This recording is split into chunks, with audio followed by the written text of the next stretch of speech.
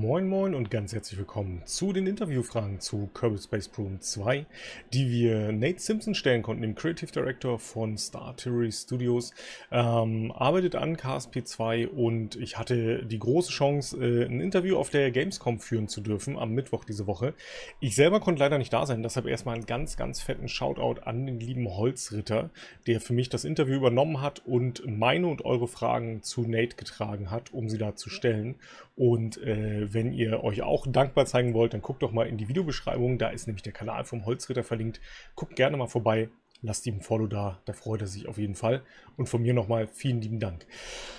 Ich habe ziemlich viele Antworten gekriegt, ziemlich viele sehr ausführliche Antworten. Ich habe allerdings äh, nicht die Möglichkeit, es direkt abzuspielen, sondern äh, kann es äh, mit meinen eigenen Worten wiedergeben, was aber auch hilft, weil ich es euch dann natürlich auf Deutsch übersetzen kann und ein bisschen spekulieren. Genau das würde ich tun. Ich würde euch immer die Frage vorlesen und dann auch gucken, äh, dass wir sie ähm, hier im Ticker äh, mit einblenden, dass ihr wisst, worum es gerade geht und dazu dann ein bisschen erzählen. Ich habe natürlich mit der wichtigsten von allen Fragen angefangen, nämlich braucht eine gute Rakete eigentlich Winglets oder wie ihr sie kennt, äh, sogenannte Glücksflossen? Eine sehr wichtige Frage. Und äh, was Nate dazu sagt, ist, äh, dass er glaubt, dass das Einzige, was eine gute Rakete eigentlich wirklich braucht, steuerbare Antriebe sind. Ich war ein bisschen enttäuscht, muss ich sagen. Äh, er hat es dann nochmal genauer gesagt und auch gesagt, äh, dass es eigentlich sogar nur ein steuerbares Triebwerk sein muss, äh, das man mal mindestens braucht. Aber äh, hat dann nochmal den Weg zurück auf die richtige Antwort gefunden, nämlich äh, dass Winglets prinzipiell natürlich optisch sehr ansprechend sind äh, und hat sich zum Schluss pro Winglet bekannt und gesagt, dass natürlich aus dem optisch ansprechenden Grund auch die Winglets im Trailer an den Raketen verbaut sind. Winglets sind also eine super Sache, wir sind uns alle einig, auch Nate sieht das so und ähm, wir werden hoffentlich weiterhin sehr viel mit Glücksflossen arbeiten. So, ähm, die hatte ich eingestreut auf jeden Fall äh, für, für meine persönliche Glückseligkeit. Das musste ich unbedingt wissen. Jetzt kommen wir aber mal zu den richtigen Fragen. Die nächste Frage war, wie fühlt es sich eigentlich an, an einem Spiel zu arbeiten, mit so einer leidenschaftlichen Community wie Kirby Space Program. Aber man muss ja der Fairness aber sagen, die KSP-Community, vor allen Dingen die Leute, die länger mit dabei sind, wir haben schon sehr eine genaue Vorstellung von dem Spiel, was das Spiel ist, was das Spiel nicht ist. Und jetzt geht es natürlich darum, eine Fortsetzung, einen zweiten Teil zu machen, ähm, was sicherlich nicht ganz einfach ist. Und das war sehr spannend. Weil auch am Anfang des Interviews hatte Nate gesagt, er ist sehr, sehr aufgeregt, weil das wohl das erste Interview was er war, was er mit der Community geführt hat. Die anderen Interviews waren alle Presseinterviews. Ähm, und er sieht sich selber auch als Teil der Community. Ähm, er spielt das Spiel, also KSP, das originelle, originale, aber auch originelle KSP, seit der Version 0.1.5 in 2012 und hätte damals auch selber niemals gedacht, dass er irgendwann mal die Chance haben wird, an äh, genau diesem Titel äh, zu arbeiten. Aber durch eben eine Serie von Zufällen, wie es so ist im Leben, ist er eben an den Punkt gekommen, dass er äh, heute die Möglichkeit hat, daran zu arbeiten und er ist sich selber nicht ganz sicher manchmal, ob er eigentlich wach ist oder ob er noch träumt und äh, scheint das sehr, ähm, sehr zu genießen, diese, diese, an diesem Spiel arbeiten zu dürfen und empfindet eine große Verantwortung dafür, eben ein Spiel zu erschaffen, ähm, das dieser Community, also uns als Spielern von KSP 1 auch wirklich äh, gefallen wird. Ähm, er selber sieht seine Rolle in dem Entwicklungsprozess als, als Creative Director vor allen Dingen eben auch darin, ähm, diese, diese Community und unsere Ansprüche mit zu vertreten. Und ähm, sein Eindruck ist, mit den Kommentaren, die er nach dem Release des Trailers auch so gelesen hat, dass eigentlich alle auf der gleichen Seite sind, alle äh, das Gleiche wollen, ähm, das Gleiche sehen wollen, das Gleiche machen wollen in dem Spiel und gemeinsam riesen Spaß haben wollen. Also von daher große Verantwortung, aber auch sehr, sehr glücklich mit dem, was er da tut. War eine Frage, die, die fand ich, also war eine Antwort, die fand ich persönlich sehr super. Es freut mich sehr zu sehen, dass wir da jemanden von uns auf der Seite der Entwickler sitzen haben. Ich glaube, das wird dem Spiel sehr helfen. Ähm, das ist noch kein Garant für alles, das ist trotzdem noch ein Haufen harte Arbeit, aber ich glaube, damit ist natürlich schon mal sichergestellt, dass so ein bisschen der, der Kern von dem, was KSP ausmacht, ähm, gewertschätzt wird in der ganzen Geschichte. Also fand ich schon mal eine sehr, sehr interessante Antwort auf diese Frage. Die nächste Frage ist, was ist, sind die hauptsächlichen Unterschiede zwischen KSP 2 und KSP 1? Das ist natürlich eine sehr, sehr große Frage. Nate hat das äh, auf zwei Ebenen beantwortet. Er hat einmal so ein bisschen den technologischen Level genommen und einmal so ein bisschen den Spielfeature-Level. Auf dem technologischen Level ist es so, dass sie die Architektur des Spielcodes komplett überarbeitet haben. ähm, um einige der neuen Dinge, die sie jetzt einbauen in KSP äh, 2, Punkt 2, genau, KSP 2 überhaupt erst zu ermöglichen. Ähm, ein ganz großes Beispiel ist Multiplayer. Das hat er auch nochmal gesagt. Multiplayer ist eine der Kernkomponenten auf der Liste der Dinge, die sie in KSP 2 haben wollten. Und das war eben auf der Codebasis von KSP 1 nicht möglich, einen guten Multiplayer äh, auf der Tech-Basis zu bauen. Ähm, und ebenfalls wollten sie noch viel mehr der technischen Innereien ähm, der Modding-Szene verfügbar machen. Und äh, auch das haben sie jetzt ein bisschen anders strukturiert, ähm, weil sie die Modder als einen sehr, sehr wichtigen Teil der Community betrachten und sicher gehen wollen, dass die Modder mit dem neuen Spiel auch wirklich glücklich sind und gut arbeiten können. Und er ist als jemand, der selber auch sehr gern gemoddet KSP spielt, ähm, super gespannt darauf, ähm, was die Modder mit den neuen Spielzeugen anstellen werden. Also so viel zur technischen äh, Geschichte. Spielfeature ist einiges mehr ähm, oder einiges, einiges länger, was er dazu noch gesagt hat. Ähm, da wird es natürlich auch einige Sachen geben. Ihr habt vieles in den Trailern schon gesehen, interplanetares, äh, interstellares Reisen, entschuldigt bitte.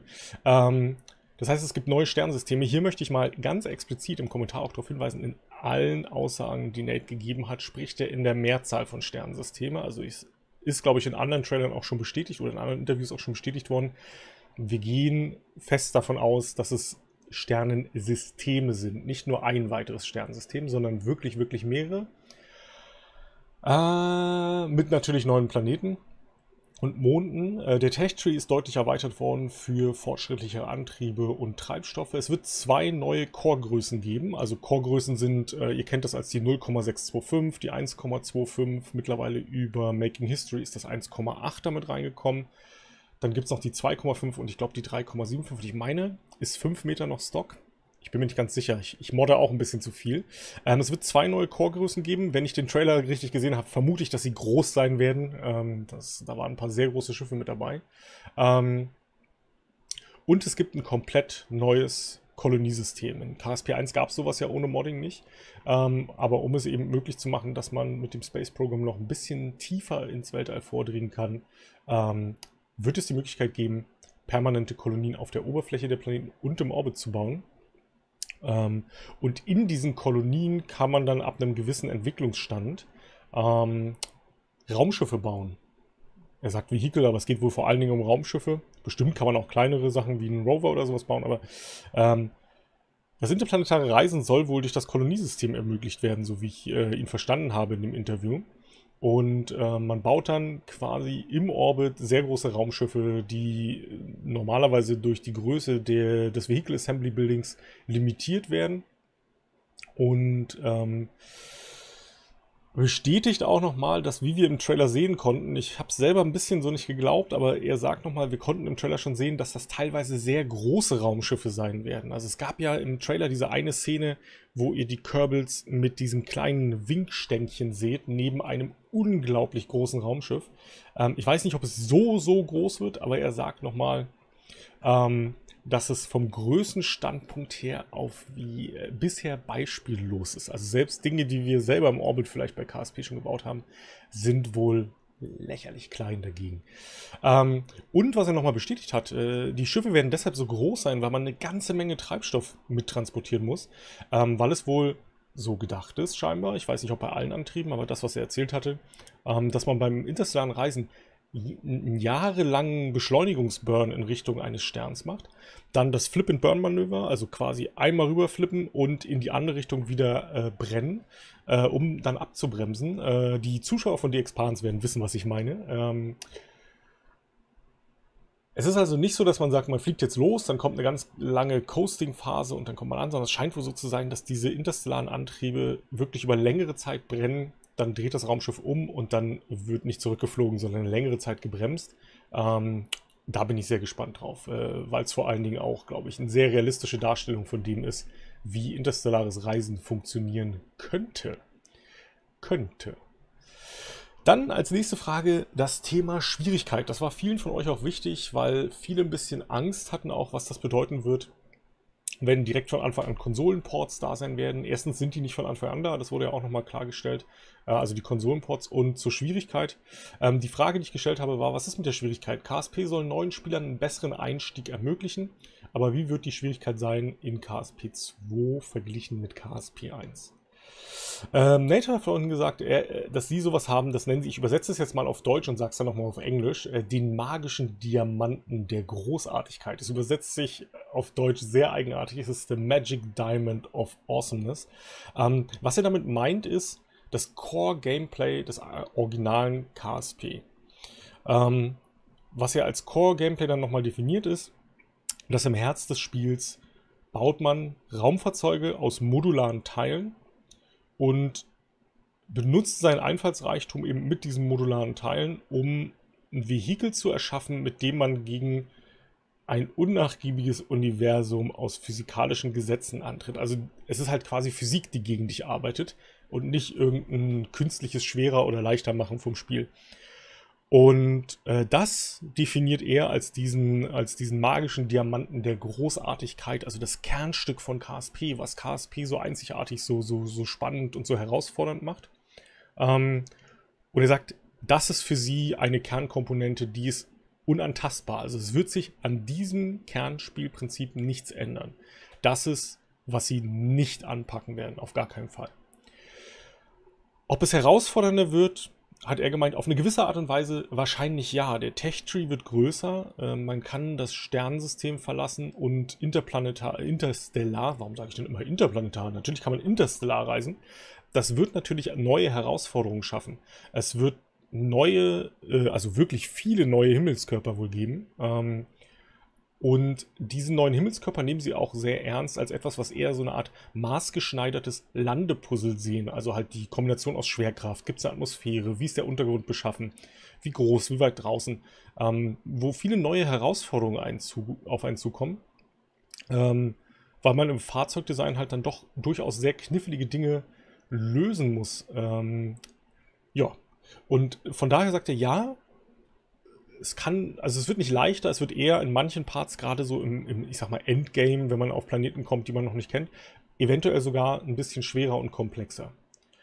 Ähm, auf der anderen Seite sieht er es aber auch so, dass er ähm, die Kernkonzepte des Spiels nicht für so schwer zugänglich hält, wie man es von KSP 1 immer erwartet. Ich, ihr kennt das von mir auch, ich sage es auch immer wieder gerne, dass eigentlich KSP 1 nur deshalb so schwer zugänglich ist, weil die Tutorials nicht gut gemacht sind und die Konzepte natürlich nicht ganz einfach sind. Er vergleicht das so ein bisschen, ähm, dass es so ist, als ob man heute muss man so eine Klippe er erklimmen. Wenn man KSP das allererste Mal spielt, die erste Experience ist halt einfach, dass es unheimlich schwer ist.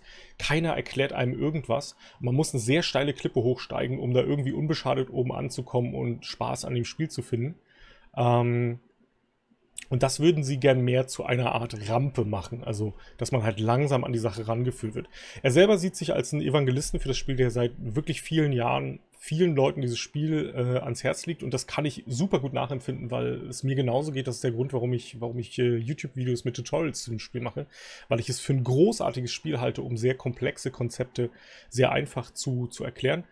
Und da muss ich sagen, er spricht mir aus der Seele mit dem, was er sagt. Er sagt halt auch, er, er, er, zeigt es den Leuten dann und er findet es immer als frustrierend, dass sie eigentlich mit dem Spiel dann nicht klarkommen. Sie haben halt so eine, ihre erste Erfahrung mit dem Spiel lässt sie halt einfach zurückschrecken, weil sie halt vor so viele Herausforderungen gleichzeitig gestellt werden, dass sie dann einfach sagen, okay, das, das soll ein Spiel sein, das soll mir Spaß machen. Ich möchte das gar nicht spielen, weil macht mir keinen Spaß.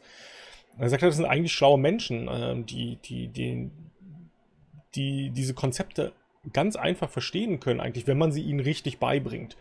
Ähm, und deshalb führen sie etwas ein, was neue Spieler sehr viel besser daran führen soll. Äh, er nennt das so Context-Aware Animations, also so ähm, Animationen, wahrscheinlich so eine Art Tutorial-Filmchen, die, äh, die wissen, was gerade passiert. Ähm, und damit die Grundkonzepte von KSP viel, viel besser erklären sollen. Ähm, ich hoffe, ich muss dann überhaupt noch Tutorial-Videos machen. Vielleicht, vielleicht ist es so gut, dass ich arbeitslos werde auf YouTube. Mal gucken, ich bin sehr gespannt. Ähm, aber ich kann ihm da sehr beipflichten. Ähm, sie haben frühe Tests damit schon gemacht und haben wohl sehr, sehr gute Erfolge damit gehabt. Also, dass sie neue Spieler, ich vermute, dass sie neue Spieler haben das ausprobieren lassen und gesehen haben, dass das funktioniert. Ähm, und für sie hat sich herausgestellt, dass mit dieser verbesserten äh, mit dieser verbesserten Art und Weise die Leute an das Spiel ranzuführen, ähm, einfach eine Möglichkeit da ist, äh, diese Orbitalmechanik-Konzepte sehr, sehr einfach zu verstehen. Man muss sie eben nur gut erklären.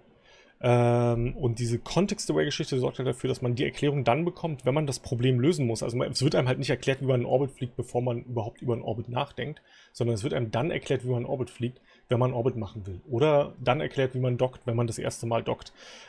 Finde ich vom Ansatz her total gut. So versuche ich nämlich meine Tutorials auch aufzubauen, dass man so Schritt für Schritt an die Sachen rangeht und noch gar nicht alles verstehen muss, sondern immer erst dann mit dem Problem und der Lösung dafür konfrontiert wird, wenn man es wirklich hat.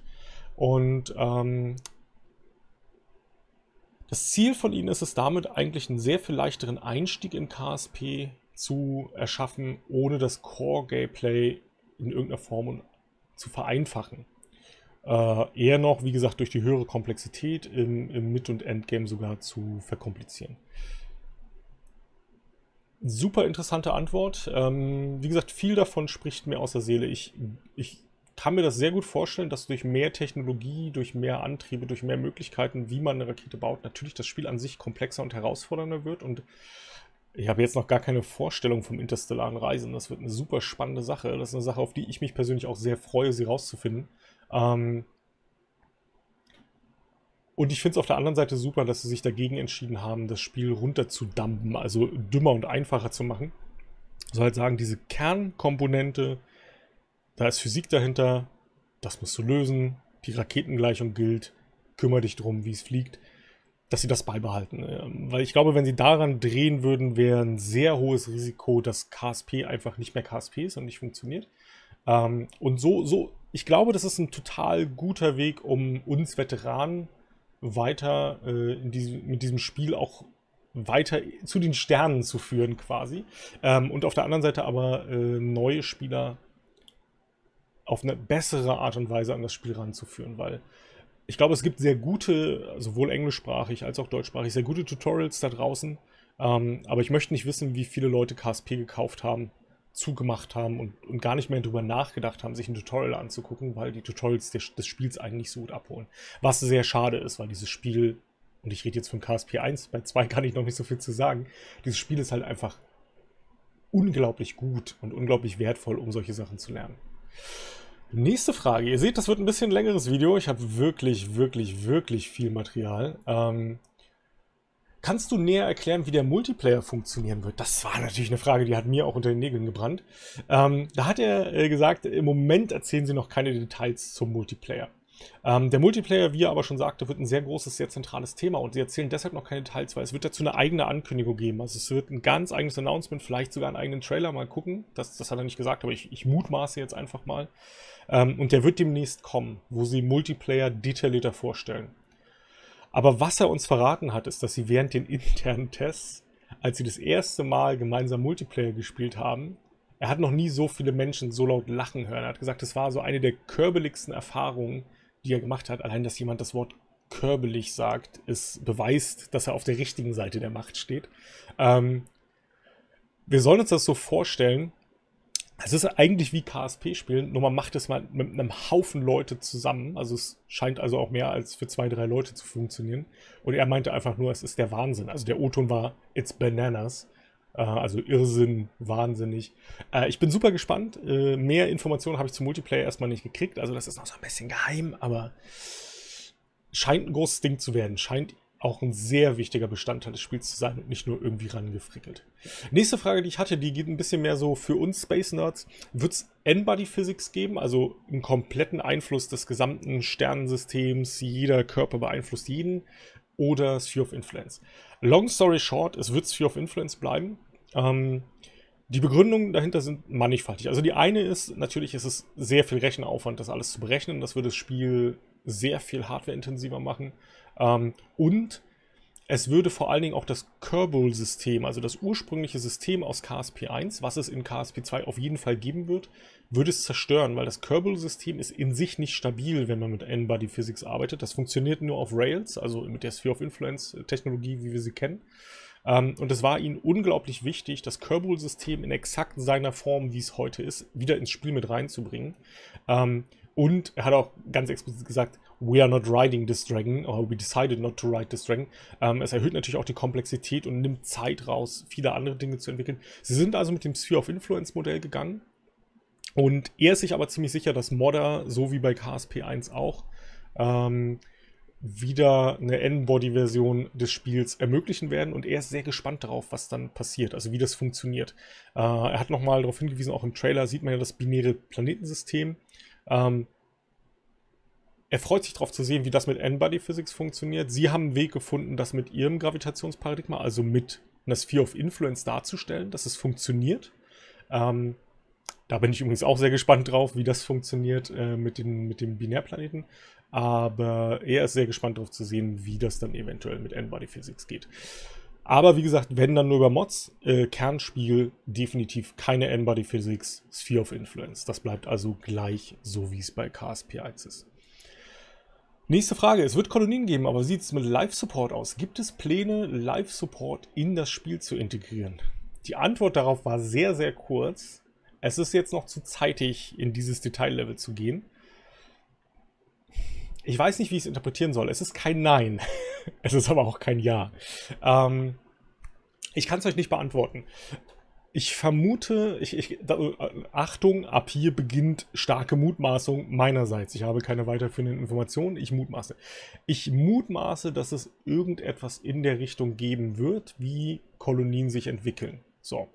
Ähm, es gab in einem anderen Interview, das hatte ich in meinem nicht drin, aber ich habe es in einem Video gesehen, gab es auch schon eine Andeutung, dass zum Beispiel Kolonien wachsen werden, wenn man ähm, Milestones triggert. Also die KSP-1 Milestones kennt ihr auch, das erste Mal im Mondorbit, das erste Mal auf dem Moon gelandet, das erste Mal die Influence 4 des Moons verlassen. Das sind so Milestones, mein erster Orbit. Und dann wachsen Kolonien wohl, weil die Kerbals das feiern. Ähm, offensichtlich mit Fortpflanzung. Ähm, und ich vermute, es wird noch weitere Mechaniken geben, die eventuell etwas ähnliches wie Live-Support sind. Ich gehe davon aus, dass es später dazu noch mehr Informationen gibt. Ich gehe auch davon aus, dass es zu den Kolonien noch mehr Informationen geben wird, als im Moment rausgegeben werden. Und dann bin ich mal gespannt. Aber Live-Support, weder ein Ja noch ein Nein. Es ist zu zeitig, um was dazu zu sagen. Da wird also vielleicht noch was kommen. Okay, dann gab es von ein paar von euch die Frage, ob es eine deutschsprachige Konsolenversion von KSP 2 geben wird, weil es wohl so ist derzeit, dass wir auf dem PC zwar eine deutschsprachige Version haben, auf den Konsolen aber nicht. Ähm, das kann er leider nicht so genau sagen, weil das nicht äh, Teil seines Aspekts ist, den er am Spiel macht. Ähm, er weiß, dass das Spiel in sehr vielen Regionen lokalisiert wird von Anfang an, ähm, aber er weiß es nicht. Er ist sich aber sicher, dass Private Division dazu mehr sagen kann. Ich habe auch schon Kontakt zu Private Division aufgenommen und hoffe mal, dass ich da demnächst was rausfinde. Das würde ich euch dann natürlich nachreichen. Ähm, vielleicht in Kommentar rein oder auf dem Community-Teil meines, meines YouTube-Kanals, äh, sobald ich da was weiß. Ähm, so wie er klang, scheinen sie aber wirklich in sehr vielen Regionen zu lokalisieren. Und es würde mich wundern, wenn sie es für einen PC tun. Also auf Steam steht auch schon explizit bei KSP2 Deutsch als Sprache mit drin. Es würde mich sehr wundern, wenn es auf den Konsolen dann nicht käme.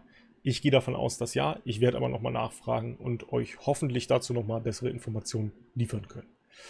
Dann war die nächste Frage, ob es eine Early Access Phase geben wird, wie bei KSP 1. Die war ja bei KSP 1 ehrlich gesagt länger als die bisher existierende nicht mehr Early Access Phase. Ähm, da hat er nur gesagt, das ist noch so weit in der Zukunft, dass er es nicht sagen kann.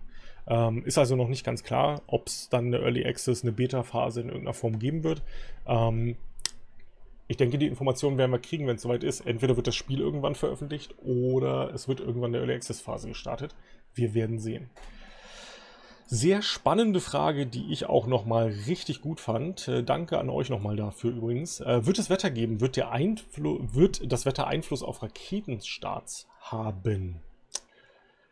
Darauf hat er geantwortet, dass es im Moment keine Pläne für Wetter gibt. Die Atmosphären der Planeten werden natürlich weiterhin einen großen Einfluss äh, auf die Komplexität von Starts und Landungen haben. Also das haben wir in KSP 1 auch schon, dass sowohl Kerbin als auch Lave, als auch Duna, als auch Eve, also alles, was so eine Atmosphäre hat, sehr unterschiedliche Anforderungen an, an ein Raumfahrzeug stellt.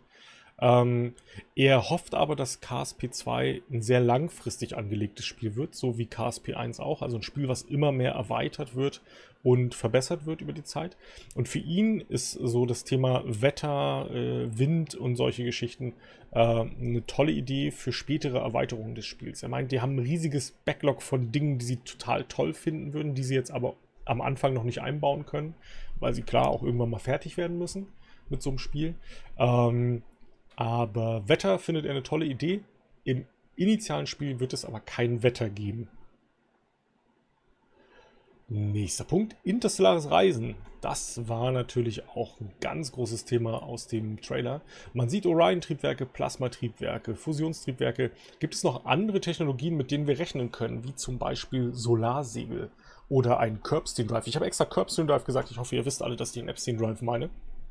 Ähm, und er hat auch gleich nochmal gemeint, ah, Curbstein Drive ist wohl eine Referenz zum Epstein Drive aus äh, The Expanse. Äh, und hat nochmal gemeint, dass sie alle äh, Expans sehr, sehr, sehr lieben und große Fans sind. In ihrer internen Planung sprechen sie übrigens vom Midgame. Wenn sie vom Midgame von KSP 2 reden in der Planung, sprechen sie von der Expansion, also wie sich die Kürbis dann ausbreiten. Also ich vermute übrigens, dass dann im Midgame also ähm, die Expansion auf andere Sternensysteme stattfindet. Ähm, und was er zu den Antriebssystemen meinte, sie haben ein paar Antriebssysteme im ersten Trailer gezeigt. Sie wollen einige der Technologien aber vorerst noch ein, bisschen geheim halten, damit wir sie später als einzelne Announcements sehen können. Also da wird so nach und nach auch noch ein bisschen mehr Futter für uns kommen. Ähm, was er aber schon mal sagt, ist, es gibt viel mehr Triebwerkstypen, als im Trailer gezeigt worden sind.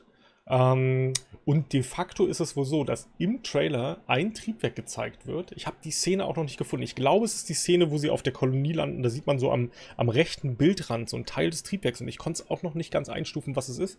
Aber ich glaube, das ist die Szene. Ähm, weiß ich aber nicht. Ich mutmaße genauso wie ihr. Es gibt im originalen Trailer ein Triebwerktyp, ähm, von dem er bisher noch nicht gehört hat, dass irgendjemand ihn korrekt identifiziert hätte. Also wenn ihr Bock auf eine Easter Egg-Jagd habt, äh, legt los ähm, und benennt alle Triebwerke, die ihr im ersten Trailer seht. Das war die Antwort auf die Frage. Was ich damit rausnehme, ist, okay, cool. ich ich freue mich sehr. Also es ist nicht so, dass die zwei, drei Antriebsarten, die jetzt im Trailer, vielleicht ja mehr, weil wir sie noch nicht erkannt haben, gezeigt worden sind, sind nicht die Antwort auf alles. Also er hat zwar nicht explizit darauf geantwortet, ob es Solarsegel geben wird, ob es Curbstein Drives geben wird, ähm, aber er sagt, es gibt viel mehr Triebwerke als diese, diese, die sie gezeigt haben. Also es gibt nicht nur ein Orion, es gibt nicht nur äh, Plasmatriebwerke, es gibt noch viel mehr. Und wir werden in den nächsten Wochen und Monaten hoffentlich so Stück für Stück gefüttert bekommen, was das sein könnte. Und wir, hoffe ich, sind wir alle. Also ich vermute, dass es über Twitter oder YouTube oder sonstige Kanäle da nach und nach News geben wird. So, also wir kommen langsam zum Ende mit den Fragen. Ich habe noch zwei für euch, nämlich einmal noch äh, in KSP, also im Original KSP, wurde die Funktionalität von EVAs, also von Extra Vehicular Activities, wenn man aussteigt und einen Raumanzug anzieht, in den letzten Updates sehr erweitert. Wie sieht's aus? Wird bei KSP 2 dieses Thema fortgesetzt und noch erweitert? Also gibt es mehr Möglichkeiten, was man mit Kerbals tun kann? Und bleiben wir bei den drei Klassen, die es momentan gibt, also den Piloten, den Wissenschaftler, den Ingenieur? Ähm, oder wird es noch neue Klassen geben? So, Dazu sagt Nate nur sehr mysteriös, also auch darauf können wir uns freuen, dass sie ein paar Dinge an den Kerbal-Identitäten geändert haben. Er darf dazu aber jetzt noch nicht mehr verraten. Aber er darf dazu jetzt noch nicht mehr verraten. Das heißt, es hat sich definitiv was geändert an Kerbal-Identitäten. Also es könnte neue Klassen geben. Vielleicht gibt es auch mehr Attribute als äh, Dummheit und äh, Mut. Ich weiß es nicht.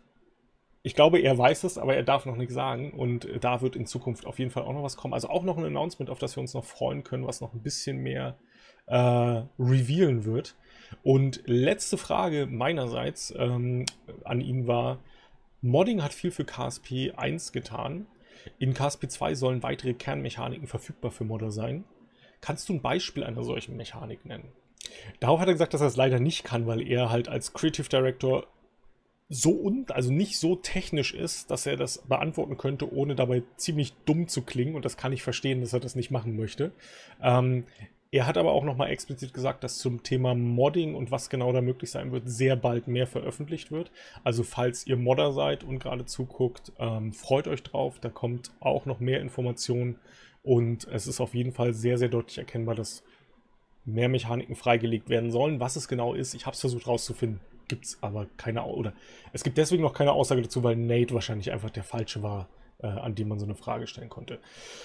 Das waren so die Fragen, die ich insgesamt gestellt habe. Ich, mein persönlicher Eindruck ist, ich bin der Hype-Train ist ein bisschen schneller geworden bei mir. und wir sind sehr, sehr gut unterwegs in Richtung Hype Station. Ähm, als, als langjähriger KSP-Player bin ich natürlich auch immer sehr skeptisch, was, was wird so ein neues Spiel mit unserem Spiel anstellen oder mit unserem Lieblingsspiel.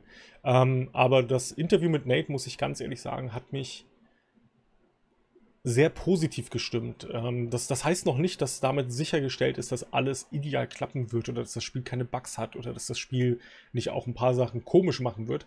Aber im Kern ist Nate halt einer von uns. Er ist ein KSP-Fan und er will KSP. Äh, es kommt mir vor wie eine Erweiterung von KSP. Es wirkt eigentlich auf mich auf nicht so sehr, als ob es so auf Zwang ein neues Spiel werden muss, sondern eher ein Spiel jetzt nochmal mit dem Erfolg von KSP 1 zu bauen, dass all das sein kann, was KSP 1 hätte sein können, wofür wir, wir sind alle, also viele von euch, die bei mir zuschauen, kennen das ja auch, ich bin auch sehr Modding-lastig teilweise unterwegs. Wir frickeln halt viel an KSP ran, um diese Funktionalitäten rauszubekommen. Und ich, und ich glaube, KSP 2 kann uns auf, eine ganz neues, auf ein ganz neues Level heben von dem, was wir mit diesem Spiel machen können, während es viele von den Kern-Game-Mechaniken, die wir so schätzen an dem Spiel, ähm, wirklich beibehält. Ich bin genauso gespannt wie ihr auf die weiteren Dinge, die äh, veröffentlicht werden. Ähm, das sind alle Fragen, die ich stellen konnte. Vielen Dank nochmal an Holzritter und äh, vielen Dank natürlich auch an Nate ähm, für die offenen und ehrlichen Antworten. Ich freue mich sehr darauf, äh, in den nächsten Wochen und Monaten noch mehr zu erfahren und ich würde mich natürlich freuen, wenn ihr mir gerne auch in den Kommentaren mal schreibt, wie ihr zu diesen Antworten steht und vor allen Dingen, ob ihr noch weiterführende Fragen habt, falls ich nochmal die Chance bekomme, diese irgendwo zu stellen. Dann werde ich natürlich gerne auch auf eure Fragen Rücksicht nehmen und die mitnehmen. Bis dahin, vielen lieben Dank fürs Zuschauen. Mein Name ist Robert und Tschüss.